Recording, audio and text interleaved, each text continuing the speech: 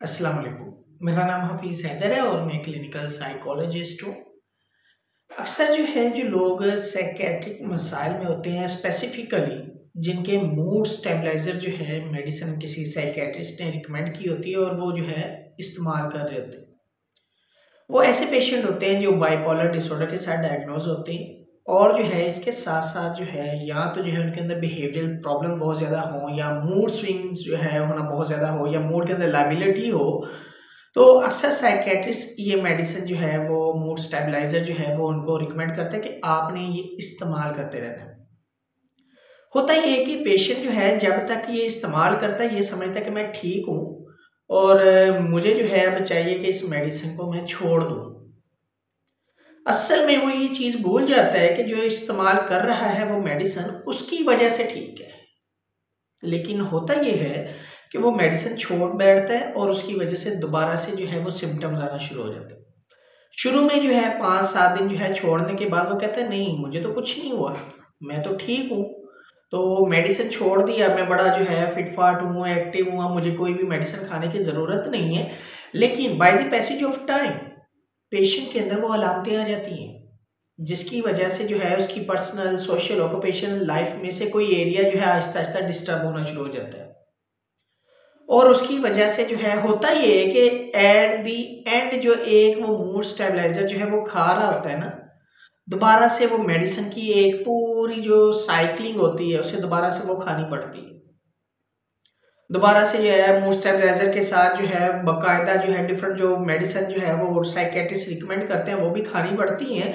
तो बेहतर ये है कि अगर आप जो है मेडिसिन आपके लिए सूटेबल है और आप जो है, बेहतर ज़िंदगी गुजार रहे हैं तो आप जो है मेडिसिन छोड़ने की गलती ना करें। मेडिसिन आपको खानी पड़ेगी। जब तक साइकेट्रिस्ट कहेगा, तब तक आपको खानी पड़ेगी। हाँ मुश्किल बात है। बहुत सारे लोग जो है, वो कहते हैं, हम तो जो है, अब सारी ज़िंदगी दवाइयाँ खाएँगे। ये तो नहीं है। मैंने तो ज़िंदगी में कोई दवाई नहीं खाई थी। अब जो है, डॉक्टर्स कहते हैं, आपको लंबा अरसा जो है, दवाइयाँ खानी पड़ेंगी।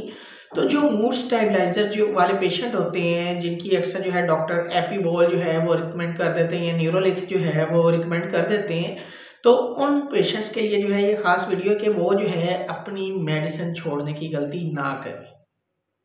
अगर वो मेडिसिन छोड़ेंगे, वो खुद अपना नुकसान करेंगे।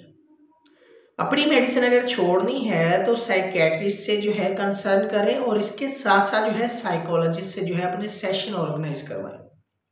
क्योंकि हमारे कल्चर में ये भी है कि अकेले साइकेट्रिस्ट के पास जाने, अद्वियात लेनी है, खानी है, ठीक होना है, और जैसी मेडिसिन छोड़नी है, दोबारा से वही हाल।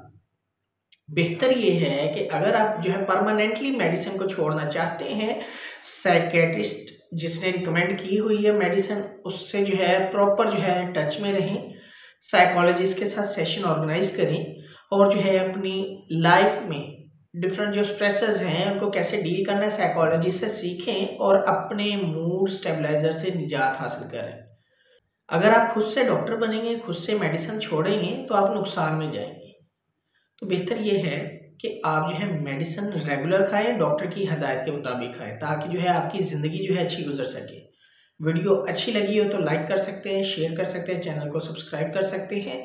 कोई भी किसी भी किस्म का सवाल हो, मेरा स्क्रीन के नीचे जो है नंबर आ रहा होगा, यहाँ पे करके आप जो है मुझे व्हाट्सएप के ऊपर जो है रबता कर सकते हैं। और मेरा जो है पेज है फेसबुक के ऊपर हफीज़ हैदर क्लिनिकल साइकोलॉजिस्ट के नाम से, आप जो है उसे भी फॉलो कर सकते हैं। तो इनशाला मिलेगी नई वीडियो के अंदर। अपना बहुत सारा ख्याल रखना। ओके, अल्लाह हाफिज़। अल्लाह के बाद।